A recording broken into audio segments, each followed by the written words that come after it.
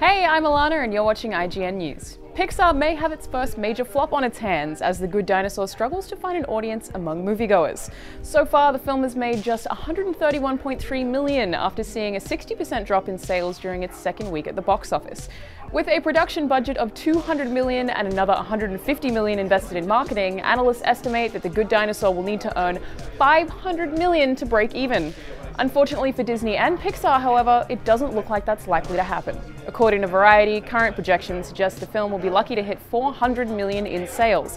If that proves true, The Good Dinosaur will join in the ranks of A Bug's Life, which earned an underwhelming 363.4 million when it released back in 1998.